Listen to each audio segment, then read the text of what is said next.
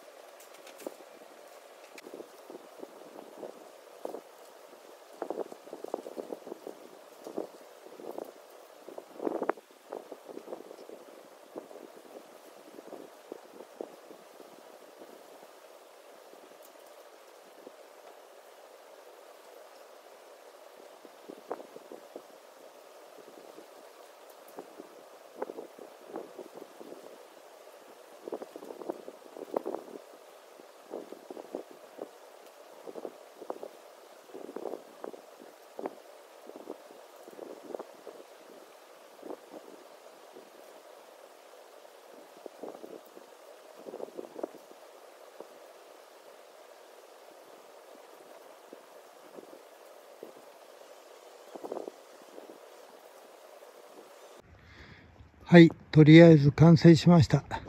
まあここまっすぐになったんで、えー、草は刈りやすいと思います。